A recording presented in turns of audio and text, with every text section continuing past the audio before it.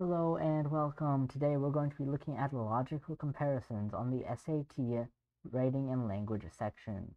As always, we're going to be going through five questions.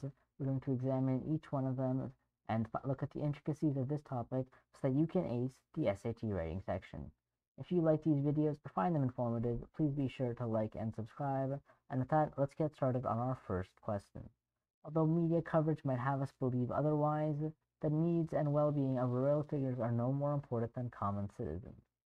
Alright, so before we start looking at choices and trying to find an answer, we should review this topic of log logical comparisons.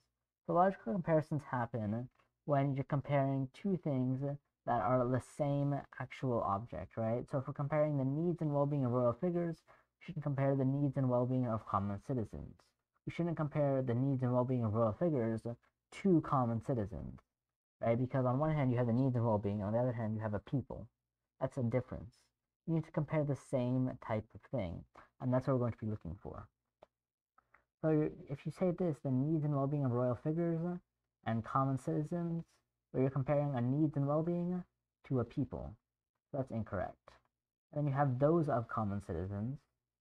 Well, that seems to work, right? You have the those of common citizens, so you're repeating this and what's more is that this is needs and well-being, that's plural, same as those, those is also plural.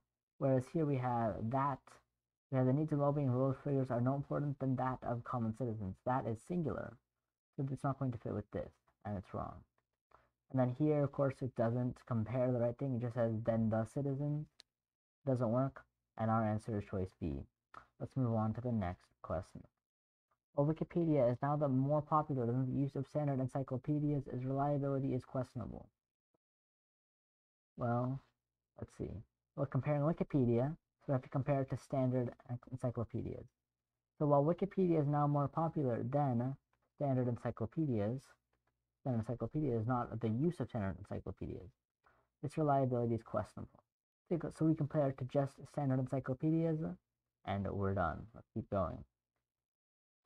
The hard drive of the Plumbook Lite holds less memory than the Plumbook original. So we're comparing this hard drive, so have to say the hard drive of this. So that of the Plumbook original, since this is a singular.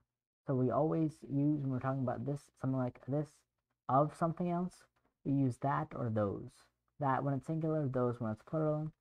Hard drive, singular, so we use that of the Plumbook original. And we can move on.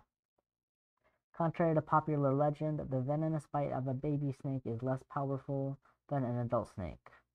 Here we have the venomous bite, so now we have to have the venomous bite of an adult snake.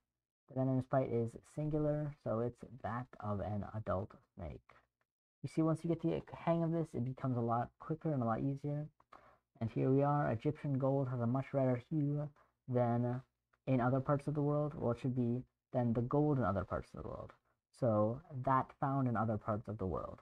It's not those in, of other countries because this is gold. This is just a 1. And that's why it's going to be choice D. Alright, so that is it for this topic. As you can see, logical comparisons is just about making sure you're comparing the same type of thing. Uh, we use that and those when we're talking about objects of something else. That when it's singular, and those when it's plural. That's all there is to this topic of logical comparisons, and I'll see you next time.